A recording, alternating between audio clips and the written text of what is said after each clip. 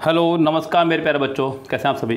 सो so gas आज की video थोड़ा सा लेट है मॉर्निंग में आठ बजे नहीं दे पाया, लेकिन कोई बात नहीं, वीडियो ज़रूर है लेकिन गैस यहाँ मैं आपको कुछ टॉप टेन कॉमन एरर्स करवा रहा हूँ, यहाँ मैं आपको रूल्स क्लियर करवाना चाह रहा हूँ इनडायरेक्टली वे में, जिससे कि आप लोगों को रूल्स को अप्लाई करना भी आ जाए और रूल्स को याद कैसे रखना है ये भी आ जाए।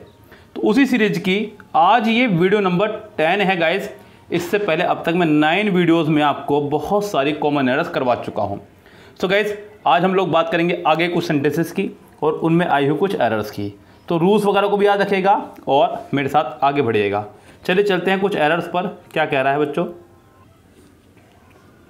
कह रहा है कि मिस्टर मुकेश भटनागर और colleague he will attend the meeting on our behalf sentence में अगर आप गौर करें तो कह रहा है कि मिस्टर मुकेश भटनागर और कलीग, यानी कि मुकेश मुस्टर सॉरी मिस्टर मुकेश भटनागर हैं, जो कि उसके कलीग हैं, यानी कि उसके सहयोगी हैं। अभी तक भी मिस्टर मुकेश भटनागर की वर्ब सेंटेंस में नहीं आई है। उसके बाद उसने एक सब्जेक्ट और रख दिया, वो है ही विल अटेंड ये पूरी वर्ब है the meeting on over behalf यहाँ सेंटेंस में दो सब्जेक्ट हैं, एक मिस्टर मुकेश भटनागर और एक ही जबकि वर्ब यहाँ पर एक ही आई है। हमने आपको बताया कि जितने सेंटेंस में होंगे सब्जेक्ट उतनी ही होनी चाहिए आपकी वर्ब सब्जेक्ट और वर्ब की संख्या दोनों में सेम रहनी चाहिए गैस तब जाकर के बात पूरी बराबरी की होगी। लेकिन यहाँ पर ऐसा नहीं है। यहाँ सब्जेक्ट आपके दो हैं और वर्ब हमारी एक। तो यहाँ पर बाद वाले सब्जेक्ट को, यानी कि ही को आपको हटाना होगा और सेंटेंस हमारा होगा करेक्ट अगर हम लोग ही हटा रहे हैं तो सेंटेंस के बी पार्ट में हो जाएगी एरर सेंटेंस के ए पार्ट में ही रहेगी। ए पार्ट हो जाएगा करेक्ट बी पार्ट में हो जाएगी एरर आगे बढ़ते हैं। As soon as I will read daily I will send you the books you have ask for guys मैं आपको एक बार नहीं, कई बार बता चुका हूँ कि एक ही सेंटेंस में इंग्लिश ग्रामर में दो मॉडल वर्ब एक साथ नहीं आया करती हैं। एक ही सेंटेंस में दो मॉडल वर्ब एक साथ नहीं आया करते हैं गैज इस सेंटेंस में उसने दो मॉडल वर्ब दिए हैं, एक ये रहा विल एक ये रहा विल उसके बाद में गैज मैंने आपको ये बताया कि सेंटेंस में अगर दो मॉडल वर्ब दी गई हों तो हमेशा आप लोग if unless until in case provided as long as so long as when before after whether इनके बाद वाली मॉडल ऑफ़ हटा देंगे। यहाँ सेंटेंस के पहले पार्ट में एज सुन एज आया है तो ये पहले वाली मॉडल वो हटेगी। As soon as I read daily I will send you the books you have ask for यानी कि सेंटेंस के ए पार्ट में मिस्टेक है। आगे बढ़ते हैं गाइज़ कह रहे हैं कि as I see it he appears to be unreasonable unanxious about pleasing his wife तो गैस यहाँ सेंटेंस में हमें बताना है क्या एरर रहेगी? अगर आप लोग गौर करें तो सेंटेंस में पहले एज आई सीट यानी कि पहला सेंटेंस आपका यहाँ खत्म होता है। Next sentence he appears sentence पूरा प्रेजेंट में चल रहा है बिकॉज़ सी आया वर्ब की फ़र्स्ट फॉर्म अपियर्स यानी कि वर्ब की फ़र्स्ट फॉर्म में एस या एस टू बी अनरीजनेबल अब गाइज़ यहाँ पर सेंटेंस में उसने लगाया अनरीजनेबल यानी कि आखिरी में आ रहा है ए बी एल ई अगर आखिरी में ए बी एल आ रहा है तो समझो ये आपका एजेक्टिव है। जबकि ये आ रहा है वर्ब के बाद। बच्चों, दूसरी बात, ये आपका एजेक्टिव ऑलरेडी खड़ा हुआ है। यहाँ पर बहुत सारे कारण हैं कि ये गलत है। क्योंकि एजेक्टिव से पहले एडवर्ब आया करता है। क्या करता है बच्चों? से पहले एडवर्ब पहला कारण। दूसरा कारण कि वर्ब के बाद एडवर्ब आया करता है। तो इस अनरीजनेबल को आप लोगों को एडवर्ब बनाना होगा।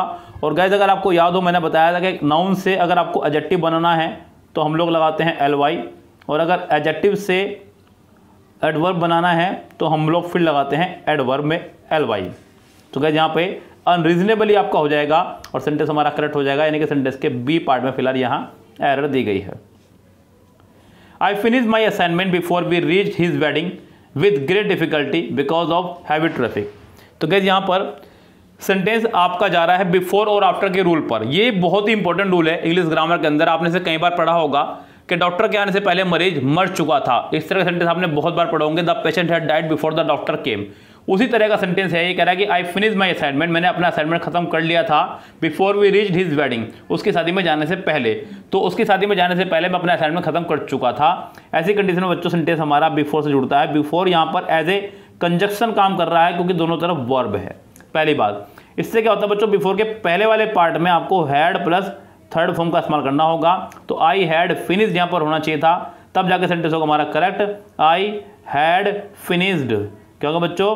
आई हैड फिनिश्ड तो सेंटेंस के ए पार्ट में ही है आपकी मिस्टेक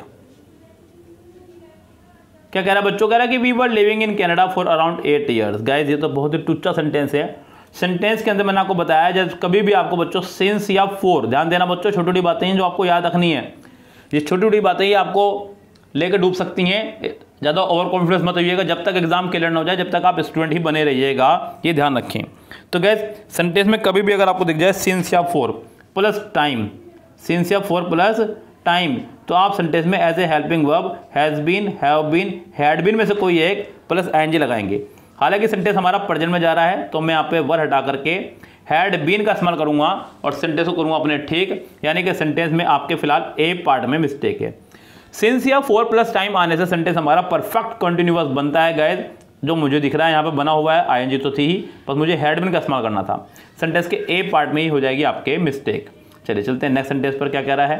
कह रहा है कि the CEO has decided to visit all the departments यानी कि सीईओ ने डिसाइड किया है कि वो सभी डिपार्टमेंट में विज़िट करेगा। बच्चों हैज़अप के साथ वर्ब की थर्ड फॉर्म आया करती है, बिल्कुल ठीक है।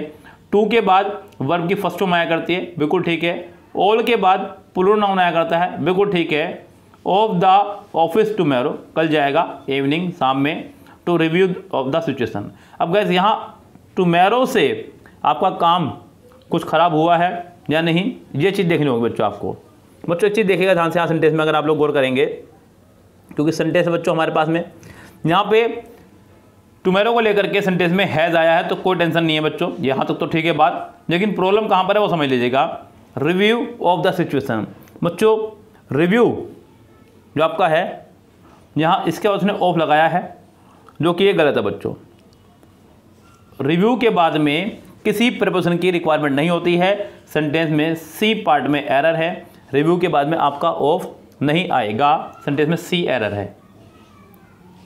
Neha is a very good fashion designer very good but her designs are not easily accessible with the public बच्चों, ये बात मैं आपको एक बार नहीं, कई बार बता चुका हूँ, जब भी किसी वर्ड के आखिरी में आपका एबल आ जाए वर्ड या फिर आई बी एल ई आ जाए, आपको उसके साथ में फिक्स प्रपोजन टू का ही इस्तेमाल करना ही, ध्यान रखें। मतलब most of the cases 99 percent मैं कह सकता हूँ कि आपका एबल वाले वर्ड के साथ में प्रपोजन टू ही होगी, चाहे वो किसी भी तरह से एबल आया हो आपका। अगर आखिरी में एबल या आइबल है तो वो उसके हाथ में टू ही प्रपोजन चलेगी फिक्स तो यहाँ पे भी विद नहीं, आपका टू चलने वाला है, बिल्कुल फिक्स जो कि कन्फर्म है। Doctor A P J Abdul Kalam life was a saga of dedication in the cause of educational reform in India तो डॉक्टर अब्दुल कलाम जी की जो लाइफ है वो लाइफ थी एक सागा थी ऑफ़ डेडिकेशन उनके समर्पण की इन द कोर्स ऑफ़ बच्चों डेडिकेशन के साथ में भी आपकी फिक्स प्रपोजन टू चला करती है इन नहीं ये भी आपका पूरी तरह से रोंग है गाइस ये छोटी छोटी चीज़ें हैं जो हम लोग अगर सीख लें तो डेफिनेटली एग्ज़ाम में हम लोगों को बहुत राहत मिलने वाली है। लेकिन अगर आप इनको नहीं सीखते हैं तो ये आपके लिए मुसीबत भी खड़ी कर सकते हैं, ध्यान रखें। ये फिक्स प्रपोजन है बच्चों, एक दिन में याद नहीं होगी, लेकिन एक दिन याद ज़रूर होगी, ये भी याद रखें। तो इसके लिए आपको प्रैक्टिस बहुत ज़रूरी है। आगे कह रहा है कि listen listen listening to a radio बच्चों, यहाँ छोटी सी गड़बड़ी होगी सेंटेंस में, मुझे लग रहा है। यहाँ पर लिसन नहीं है, आप सेंटेंस बच्चों, में बोल रहा हूँ, सुन लीजिएगा ध्यान से। कह रहा है कि आशीष आशीष वोज। सेंटेंस कुछ इस तरह से है। Ashish, was listening to a radio when Sunita arrived यानी कि कहना चाह रहा है कि आशीष रेडियो सुन रहा था जब सुनीता आई। जब सुनीता आई, तब आशीष रेडियो सुन रहा था। तो गैस यहाँ पर सेंटेंस में जो कह रहा है Ashish, was listening to a radio तो यहाँ पर रेडियो से पहले बच्चों हम लोग दा का इस्तेमाल करते हैं, अ का नहीं। इन्वेंशन से पहले हम लोग, कोई भी इन्वेंशन है गाइज़ किसी भी इन्वेंशन से पहले हम लोग आर्टिकल दा का इस्तेमाल किया करते हैं। तो आपको यहाँ पे अ नहीं, दा का इस्तेमाल करना होगा। चलिए गैस चलते हैं अपने लास्ट सेंटेंस पर। कह रहा है कि when the professor are on a strike the professor strike पर थे and a notice of this effect is pasted on the university gate pasted sorry मैंने चुपकाना बच्चों there is no sense to go there तो gas कह रहा है कि when the professor are on strike जब वो स्ट्राइक पर थे। और नोटिस जो है इसका गेट पर चिपका दिया गया तो अब कोई ज़रूरत नहीं वहाँ पर। तो guys there is no sense to go there यहाँ जो स्ट्रक्चर उसने इस्तेमाल किया है सेंस सेंस के बाद बच्चों, आपका अगर टू भी हो तो आपको उसके साथ में जीरण का इस्तेमाल करना होता है नॉट फ़र्स्ट फॉर्म का। बच्चों, यहाँ सेंटेंस में या तो टू गो पूरा हटाइए। There is no sense going there yes तो सेंटेंस होगा करेक्ट टू को हटा करके आपको लगाना होगा गोइंग ओके गाइस तो ये थे आपके आज के टॉप टेन रूल्स इनको लिख लीजिएगा नोटबुक में, खासकर फिक्स प्रिपरेशन वाले. और कल फिर मिलते हैं आपसे नई वीडियो के साथ में. तब तक के लिए good bye have nice day